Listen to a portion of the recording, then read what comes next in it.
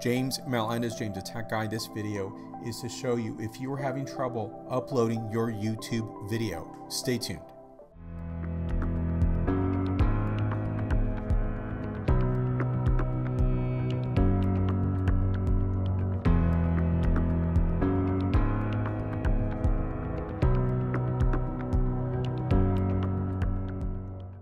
Please like and subscribe to this channel.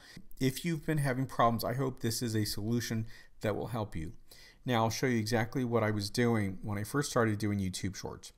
So let's upload a video. I just created this and edited this video. And I use Final Cut Pro to edit my video. And here's a video right here. We'll select that.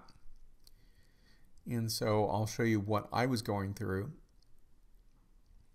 Now, what I do typically is I'm just going to go go through this quickly and next, and then I leave it unlisted until I verify that the video is displaying correctly and to make sure my edits are correct. So I'll close this.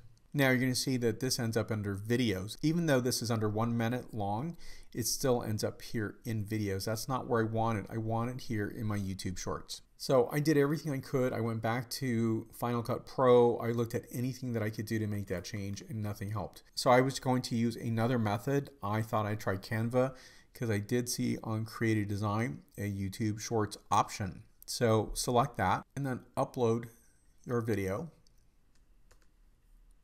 Now I've uploaded the video. I'm going to place it here and there's nothing else I need to do except go to share and then I'm to download this. So that's all you need to do.